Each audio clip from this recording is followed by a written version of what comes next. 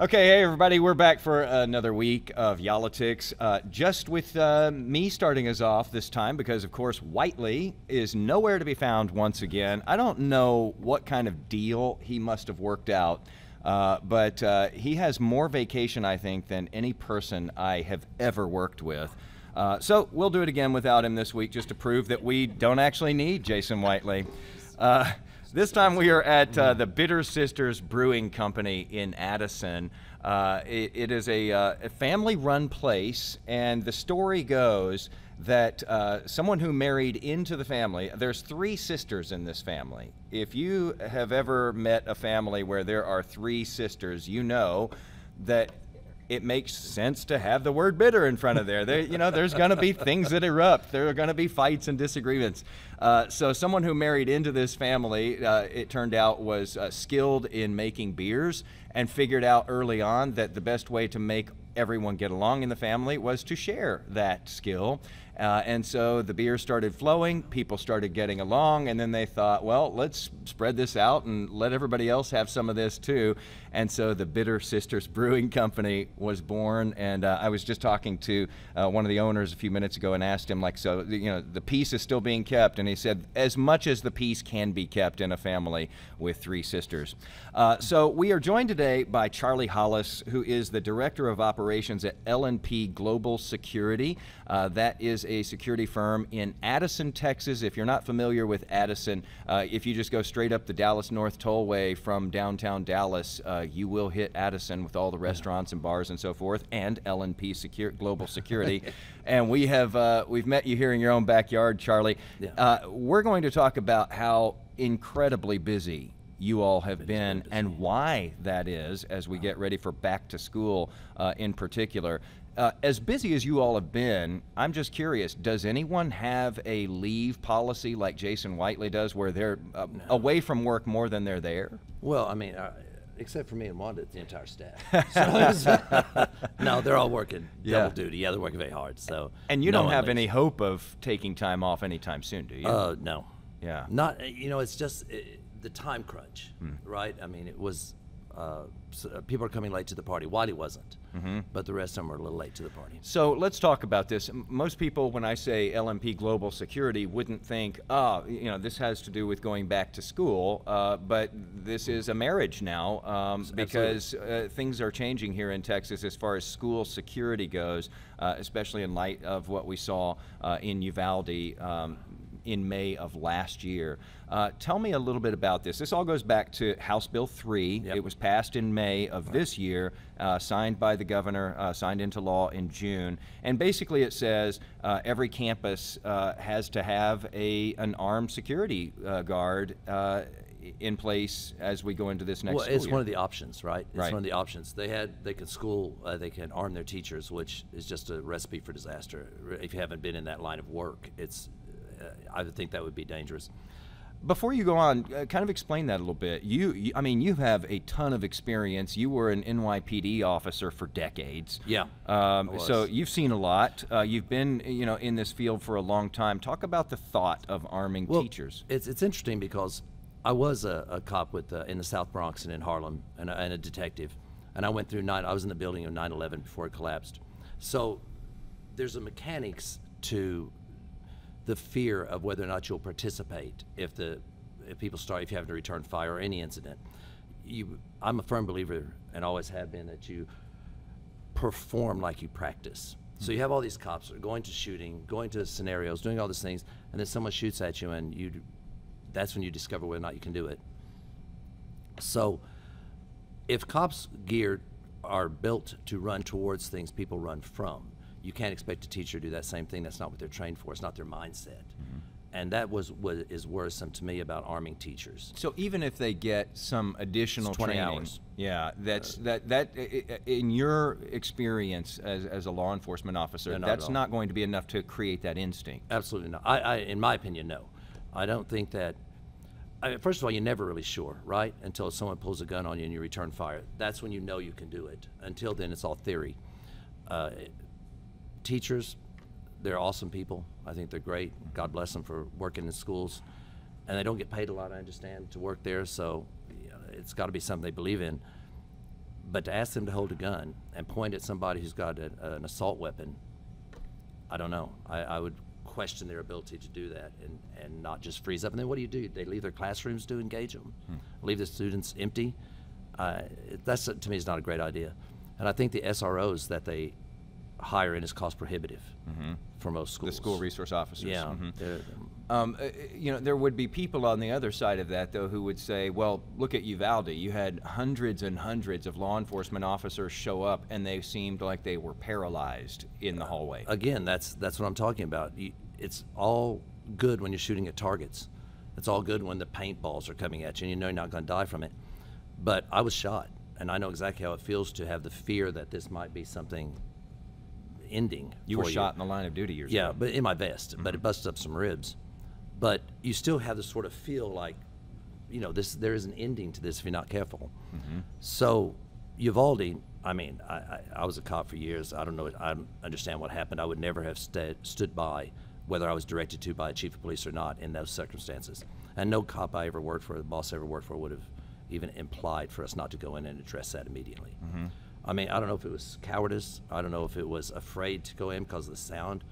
But uh, again, that's just something that happens, and you've got to be very. You've got to, and I couldn't ask a teacher to make those decisions. They they made a poor decision, in, in my opinion. And again, one of the things that came out of what happened in Uvalde was uh, that the legislature took up some different uh, initiatives the last time around, um, and um, you know there are people who thought that maybe they could have gone further with you know the things that they could have done to safeguard schools. Uh, but here we have this plan where there's this option where you can have an armed officer on every campus uh, to be able to try to you know help you know spot something uh, early on. L&P Global Security, that's where you all come in. Yes. Um, and uh, talk about what you offer uh, specifically for school districts. It, this isn't uh, an, an area that you know you probably dealt with a whole lot before now, is it? No, in NYPD we didn't have uh, dedicated officers to schools. There was if your school was in the precinct you were in, and there were 72 of them, they um, then you handled the school issues. But we didn't have a dedicated, at least not then. With this, I wanted to when they first approached me about it, but Wanda and I, I wanted to run like an SR program, SRO program. I wanted to give a dedicated officer per school, not one that rotates around, not one that, that goes from place to place. Uh, so you got a dedicated officer, that's their school.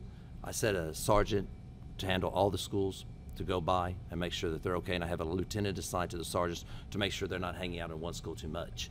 They have to they have to move around. They have to keep mobile.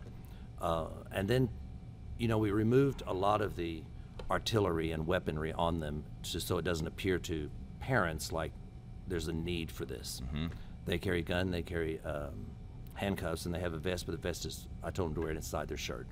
We don't want to startle parents. I mean, I have a kid in 10th grade. It doesn't look like it. I was in 10th grade. so, I mean, it's like the oldest father. And I, I have a shirt that says, I'm not his grandfather. I swear to God, every time I go in. I'm not good, because it's crazy, right? I mean, I walk in, I, we went to that meeting yesterday, that family thing. Yeah. And they were like, oh, sir, can I get you a chair? I mean, it was ridiculous. You know, they, think they're going to fall out. That's funny. But the, um, So you're a parent, you get it. Oh, yeah, You get the concerns. Right, and and I understand why a parent would be concerned, and that's why we make great efforts to vet everyone we check. I do a five-point check on it, then we send it to NCIC and TCIC to run theirs, which is a state that only law enforcement people can get a hold of. Yeah. Um, make sure they they fit, make sure they understand the protocol, make sure that they're trained efficiently.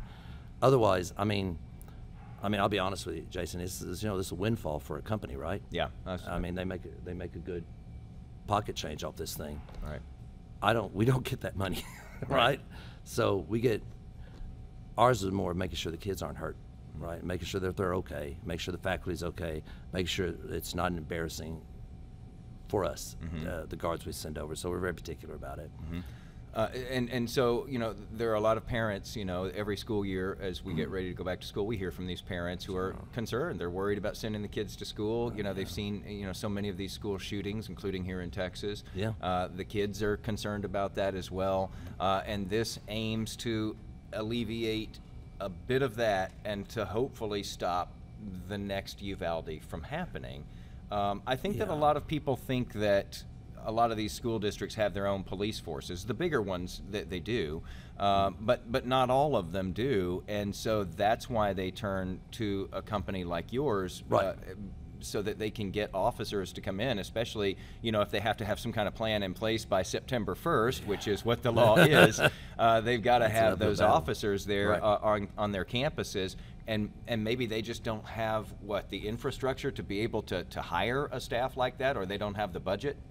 The the schools themselves, the budgets, it's it. You know, you're given Governor Abbott gave them a certain amount of money per campus. I think it was like fifteen thousand dollars per, school. campus. Yeah. And the problem with that is, is, and I'll be honest with you, it, it cuts it in half. I mean, they we that pays half of what any, and we're we come in, uh, we don't ask for. There's things we give them that we don't charge for, and it still is expensive. It's an expensive venture, and you know they're only bringing us in for elementary schools right now. Mm-hmm. Because uh, I think they need arrestable uh, people who are TCO certified and mm-hmm. can arrest at high schools and middle schools and these guard, guards are not TCO certified. Military background, we try for. Retired police, they're almost impossible to get mm-hmm. because uh, you know they have a skill set that requires more money. Right. Um, but so we have the elementary schools, and I tell the guards when we're talking to them, when Wanda and I are talking to them, that you know you're the first line. If someone comes in there, God forbid, and, and starts pointing weapons at some kids or faculty member, you're the first line. You're going to be the first one to stop him. Hmm.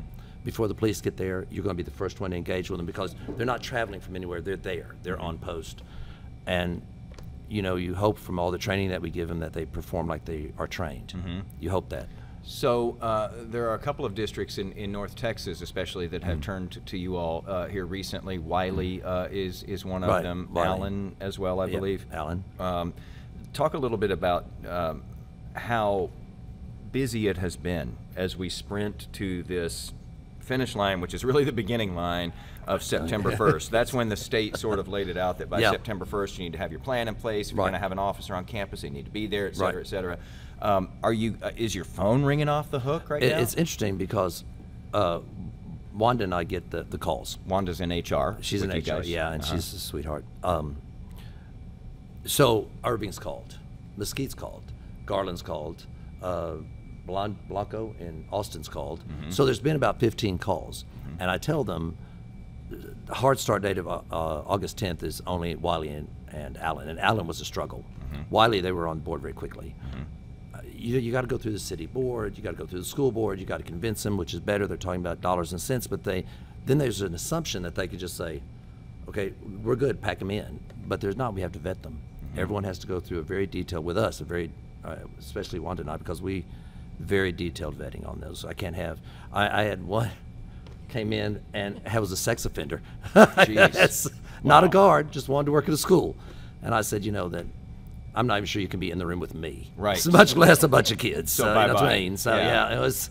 Well, yeah, and, and, these are all real things that happen when you're, you know, ramping up an operation and trying to vet people. Um, so, is there an ability, I guess, to meet the demand that's going to be out there Oh, uh, yeah. to put officers at each one of these Yeah, campuses? we can we can fill them up.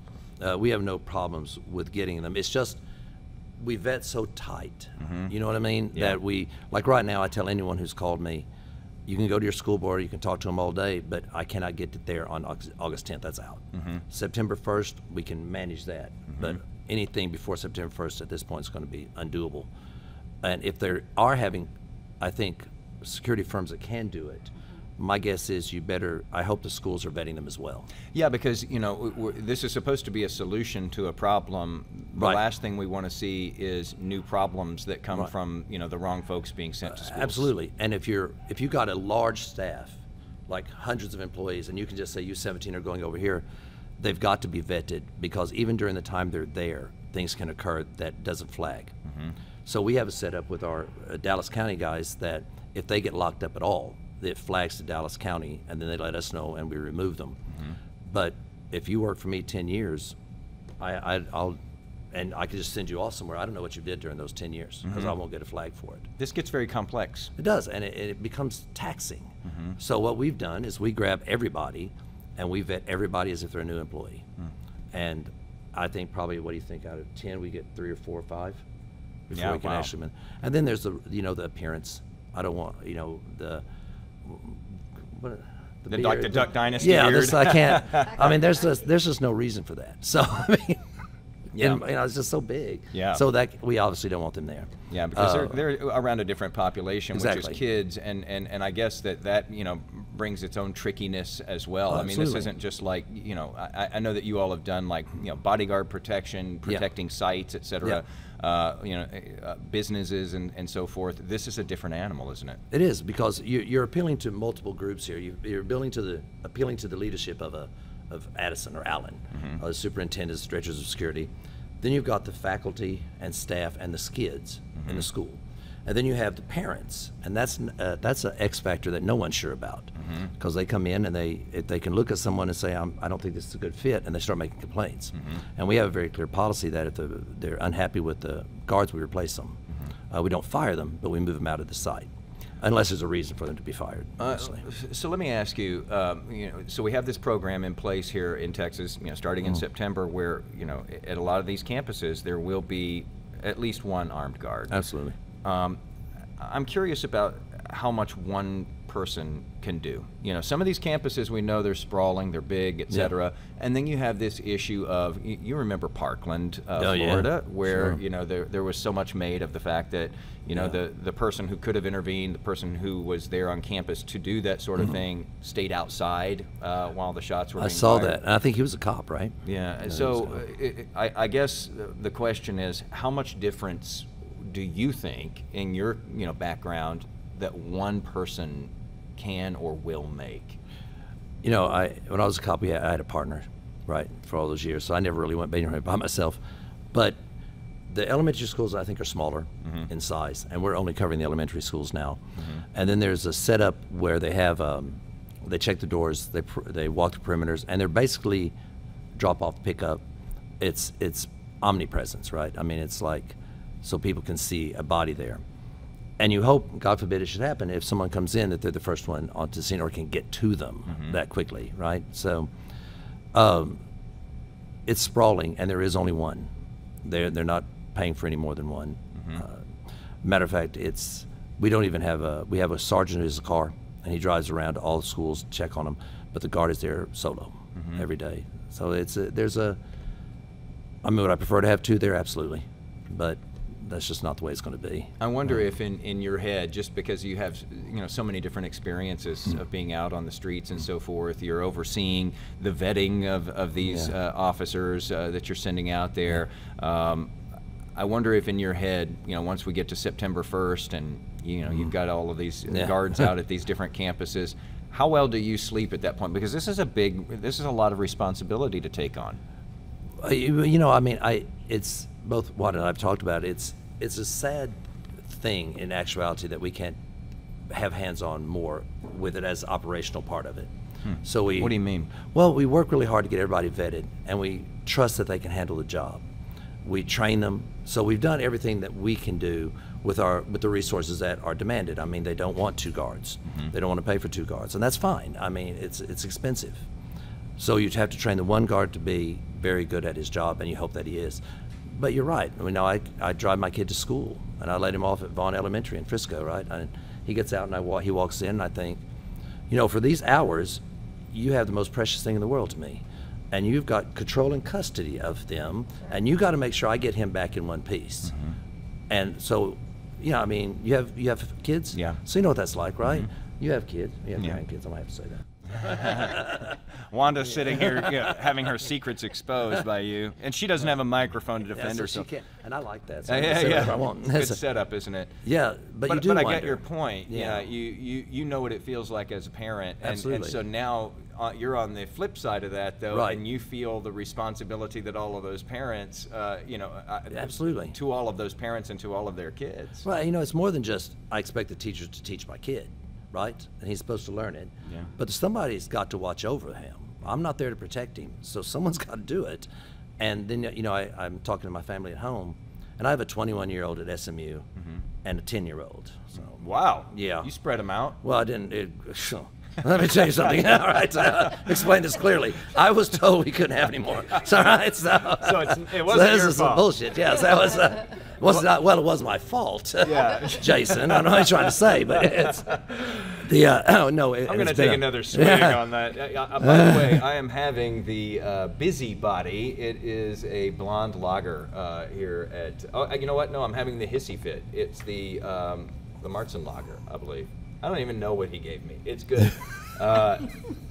Uh, Märzen lager. And you're having a Coke. I'm having a Coke. That's 30 years of sobriety wiped out if I drink it. so Oh, well, cheers to that. Cheers I will to that, thank you. absolutely uh, do a cheers to that. That's phenomenal. yeah, well, it's been a long run now. Yeah, that Um, is. Um, uh, so, but but we were making the point that you, I, I'm sure that you feel the weight, you know, uh, of of fielding. Oh, yeah. Essentially, I mean, this is a force. How many how many people by the time we get into this school year, how many people will you have out? Do you expect at different campuses, not, not only here across the Uh, state, wherever? Well, in Blanco, there's 6 Mm-hmm. 13 at Wylie, 17 at Allen. Uh, And maybe more to come. well, we're in the running now for um, Northwest, and that's 22. San, in San Antonio. no, here. Oh, here, Northwest okay. Here, down by Fort Worth, I think. Oh, I was thinking Northeast. Yeah. And then there's um, then there's Denton, which we're negotiating with. and They got 27. Okay. So there's a lot. If they get all of them in place, there's going to be a lot of guards there. Mm-hmm. And then there's a lot of moving parts to make sure that we don't get the wrong guard in there. Mm-hmm. So it's constantly a checks and balances on them. And you all are a young company. Uh, yeah, relatively speaking. 2018ish Yeah. or so, uh, and and you're really having to ramp up here. it's this has been a battle. Yeah. This has been. I mean, it's like the war room. You know, somewhere. I mean, there's eraser boards Mm-hmm. and papers and people running all over the place, and it's not that we can't fill it. It's we're very dedicated on who we're filling it with. And that's Right. I mean, like I said, I got. It makes it harder. Well, it makes it hard because you end up rejecting when you need a body. Right. But that body doesn't fit. We end up rejecting it, and it's like, well, we're starting back now. I was going to say, So- you know, because a lot of these uh, districts, even if they have the money, they might also be having trouble locating people, getting people Oh, to apply for the jobs and Yeah. take the job because you've got so much competition out there with Right. different jobs. And it's the and you know with guards it's a price point. I mean Right. they've got to be able to pay. We um her and I were very specific about what we could do for the guards. Yeah. Uh, again, I'm pro the troops. You know if they're out there working, I'm, I'm behind them as long as they do a good job. We told them we'll pay you this amount of money, Hmm. and when the school is closed, we'll put you in one of our other L&P sites, but we'll keep that same pay. Hmm. And you'll get that same, what's normally it could be a sixteen dollar site. Right. We'll keep them at the, the salary that they're at That makes sense. and the time and a half uh, will start at the 20 mark. So things like that, you try to, to say, you know, do a good job, and then we can keep this going. Do a bad job, and I'll remove you. I wonder about the uh, sustainability in, in some cases about you know all of this. Uh, you know, I, I pulled a little bit from uh, Kevin Reece. He's a guy who works with us uh, with WFAA TV in uh, Dallas. Uh, and part of what he said was that Wylie ISD says that even though the state has provided the partial funding that we've been talking about for these new security officers, an armed security guard contract of $534,000 uh, requires the district still to find another almost $223,000. no so they're getting a portion of this from the state, but the district is then having to go out and figure out how they're going to scramble and, and sort of cobble together the rest of the money to pay for this. And you do wonder, you know, as we go through the years and years ahead, how Yeah. they're going to be able to keep doing this. That's one district. Well, I think uh, with Allen, it was Six hundred. six, uh, yeah, 690,000, and they, I think they got 320 or something. Wow. It's it's it's hard for them, and your heart bleeds for them because you know they're they're having to scramble, and you worry are they going to increase taxes to have to pay for this, and people are having now they're digging into their pockets, um, so that's a hard road. You know, with, with us, we put together like there were things we trimmed it back as far as we could because I mean it's still a company, so Yeah. there's a profit margin there. Otherwise, it's it's just not lucrative. why you're in to do it. business, right? yeah. And but then you can't have it so cost prohibitive that you end up not having the, the protection, or you end up cutting it down so low that you don't care who you put in these schools. Mm-hmm. So there's that fine line, isn't it? I would imagine too that there's you know there's plenty of competition out there that does the same thing that y- you all do, and I'm just wondering how much on its own now does school security uh, guards how much of an industry does that itself become here in Texas now? I mean when we're talking For- about these kind of dollar figures. You mean for ISDs particularly? Yeah. It's a like our bosses, the managers, the owners of the company, they want us to be ISD specific, right? They want us to be able like the specialists in ISD. So we've all worked diligently to get that done. Uh, I was a detective in crimes against children, so I dealt with schools a lot. But it's uh, such a different thing when you're. It's so much money, right? People are making so much money, and then the the poor ISD people are having to foot what they can of it, and then scrounge for the rest of it. Hmm. It's hard for them. Mm-hmm. I mean, when we went to that meeting at Allen, the school board meeting, you know, the questions were how we pay for this, Hmm. and the governor told them they had to. So, you know, this is where we step in. Yeah. But I can understand their concerns. It's, it's difficult. It's one of many difficulties, I guess, that these districts Yeah. are, are dealing with as far as, you know, mandates that come along from the state, and they've just got to figure out the way to, to A- foot the bill. And you know, Jason, I don't understand how they, the ones that aren't doing it are not, are satisfying HB 3 Mm-hmm. Like Frisco, I think, is talking about having just cameras up. So maybe that's a part of it that I didn't read in HB 3 that, that you could do cameras or something on those lines. I don't know how they're not uh, adhering to the same regulations. Well, I guess in this case too, doesn't it seem like we're? I- I mean, I guess these are uncharted waters that we're going Yeah, into here, as far as you know. These, these mandates have come down to make these schools safer uh, Right. and, and to try to you know protect these students better and everybody's sort of figuring out how they're going to make that work especially when they don't get a full funding package to do that. That's right. And I guess maybe the governor can, maybe Texas just couldn't afford to pay all that money that security companies request. Mm-hmm. Uh, and when you get into the heavy, the big ones like, uh, it's not Blackwater anymore, but that group. Yeah. They're going to charge a lot. I mean, $35, $40 an hour per guard on 17 schools for eight hours a day. That's a, that's a major hit. We don't charge that much. But when you start reaching up into the high end of it, you're talking million, 1.4 million a year easily. So it is. I mean, this is in itself an industry. Oh my! Uh, oh yeah, yeah. absolutely. I mean, you have very near or passing the million dollar mark yearly, and now you you know you subtract the, the costs, Mm-hmm. but the costs actually are rather minimal because it's just what you're paying the guards. Right. So the rest of it, you know, as taxable income. Yeah, and, and, and you know, TEA I think estimates that they have almost 9,000 campuses uh, in Texas. The Texas Education Agency says Yeah. there's about uh, almost 9,000 campuses in this state. So you start multiplying that out. If you were to put, let's say, an armed guard at each one of those. Well, you have to reduce it down to normally elementaries. Right. So out of that nine thousand, you'd have to look at your- your total elementaries. Right. And then you also include your alternative schools. They're supposed to put those a guard in that. Right. And some intermediate schools, um, middle school areas, have a few Right. that they want guards in. But it's that whole you must have a guard there, and not a rotating SRO. Mm-hmm. Like I SRO could have three schools and rotate, and he doesn't want that. He Mm-hmm. wants one dedicated to each school, which is, which is what the armed guards are doing. They're dedicated to one one now, school. Now, for your business on your end, uh, do you? I mean, you all again provide security for a lot of different kinds of things, or have over the years. Does your does it change the dynamic for you? Like, do you have to have more insurance? Let's say if you start sending guards into schools in, instead of just you know job sites and so forth. It's I think in school there's a liability issue. We Yeah. carry all the liability for any incidents that happens in the school. Yeah, I would imagine your premiums go up Uh, just yeah, because of what up. you're protecting and who you're protecting. and, and who we're protecting. Yeah, it's so there's a there is that expense. Mm-hmm.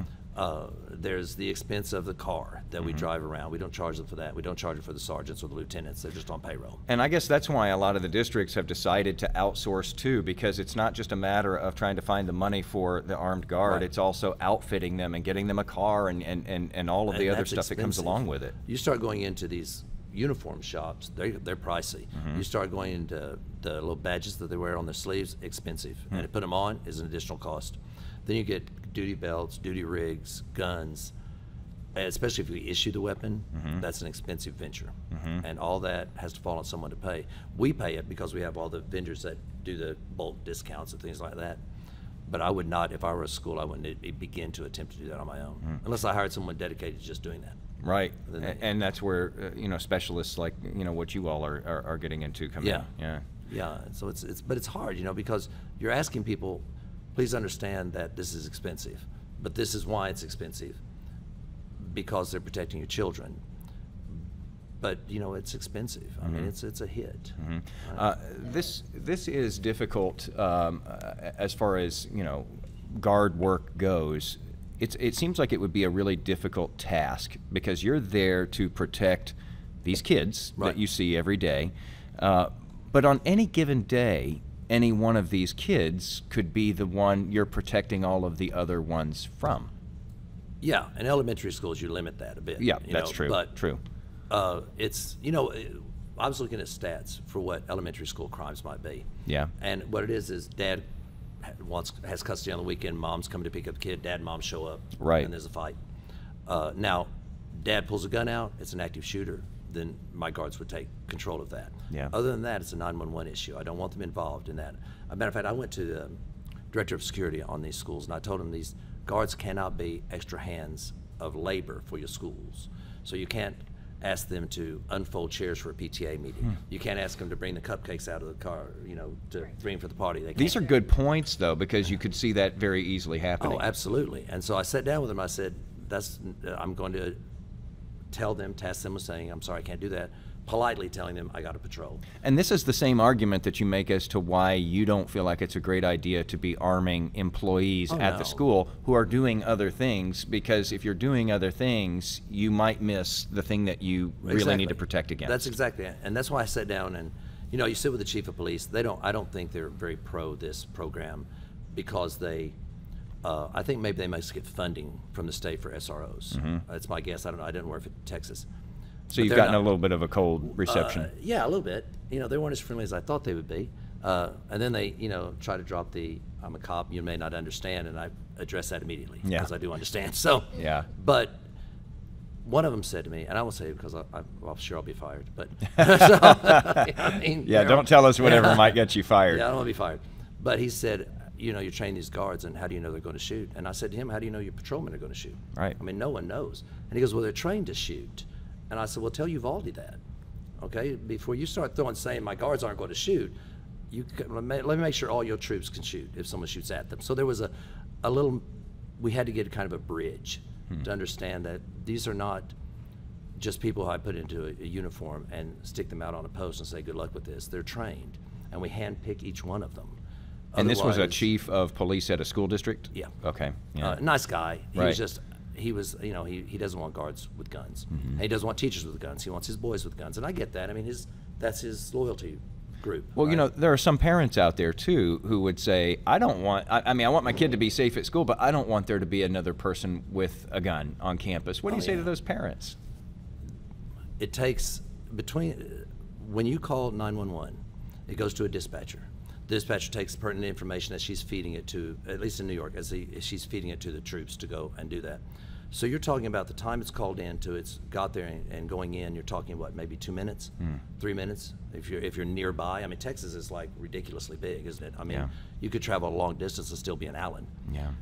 so you're talking about the time frame it takes to get a cop there and how much damage can be done in two or three minutes with someone with a with a semi-automatic weapon Hmm. or an assault weapon.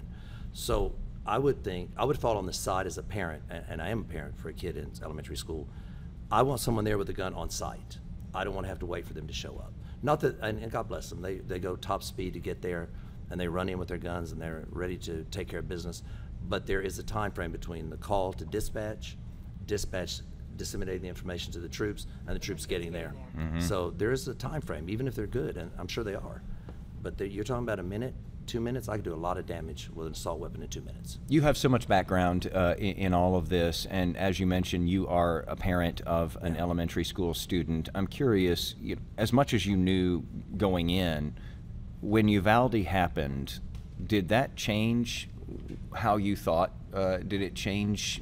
uh, Did you take anything away from that and go, "Wow, I always thought it would be, you know, more protected than this"? I, well, I mean, everybody was. Um, I was disappointed in the police behavior, right? I think every cop was disappointed in the police behavior. I mean, not going in and addressing the shooter when you're there and they're still active shooting.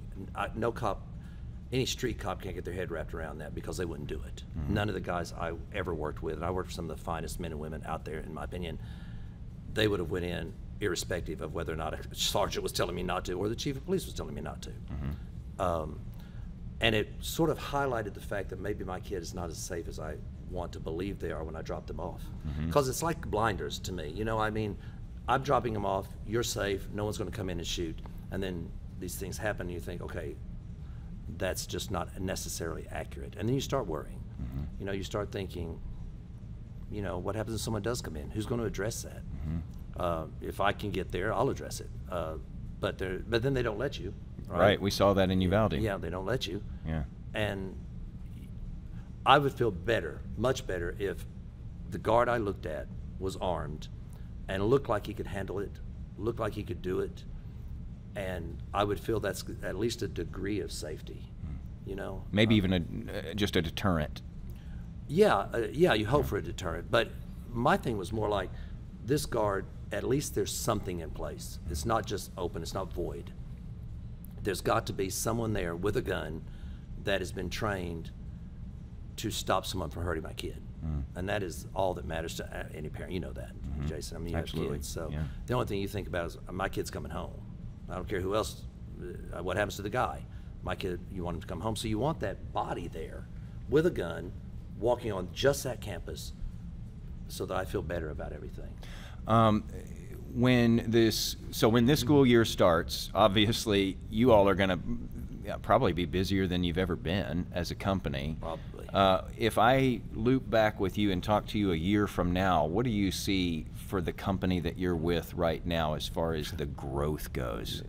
Introducing my new job. Yeah, right. It's, uh, uh, I'm sorry. What, you want me? How would I feel about it now? No, I mean, from h- now? how, uh, how, how much do you see the company that you're with growing just in, in this next year? I Oh. mean, this is, if they pick up the schools that that we're currently talking to, there there wouldn't be a need to have like a Dallas County contract necessarily Mm-hmm. anymore because it would be like a, such a specialized niche.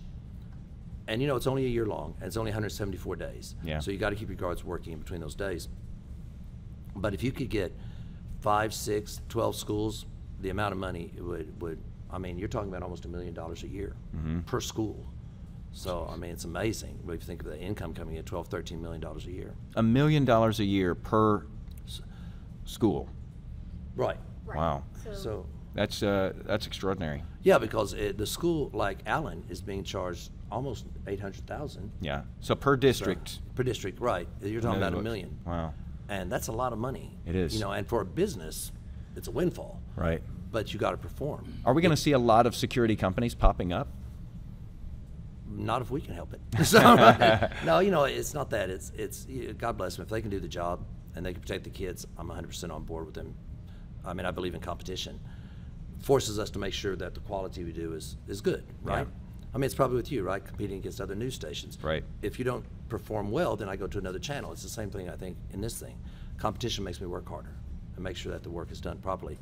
My kid makes sure that I do this properly because that's what kind of the that's the picture, right? You have in your head is your own kid.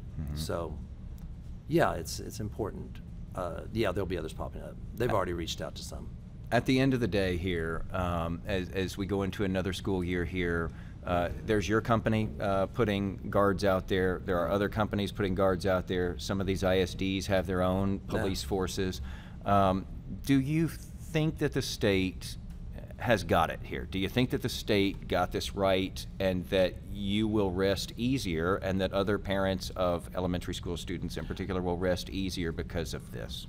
Well, it's certainly a step in the right direction, isn't it? I mean, I think the cops ultimately are going to come in for an active shooter if the guard doesn't take them out. The guard, the cops are going to come in, and the guard's going to be removed from that emergency situation. He's not going to be involved anymore. He's going to do crowd control, and the cops are going to come in. So it's a two. To me, it's two prong. You need well-trained guards that can eliminate the issue immediately if it were to occur. But you also got to train your cops to handle active shooters. Mm-hmm. You got to train your cops on the exact protocol, irrespective of what a boss is saying on the scene, that their policy is this, their program is this. So it's got to be two. I want to know that, yes, this guard is good. But I also want to know when the police show up with their SWAT gear on and their weapons and things like that, that they're going to go in and take care of it, that they've trained enough to be able to finish the task. And we So all thought that lesson was known before Uvalde, but uh, how confident are you, as a former law enforcement officer, that that lesson has definitely been learned post Uvalde after we all saw what happened or didn't happen there? Well, you know, it, that's what happened. Is what didn't happen was the lesson. And no one, in, in my mind, after years of, of being a cop and decades of being a cop, I can't imagine in my head what stopped those guys from going in. I can't, I can't wrap my head around that at all. But the embarrassment of it, I think, would spur me if I were the chief of police to make sure that my men did not ever, ever run across that problem again. Hmm. So, sometimes the spanking is the best lesson.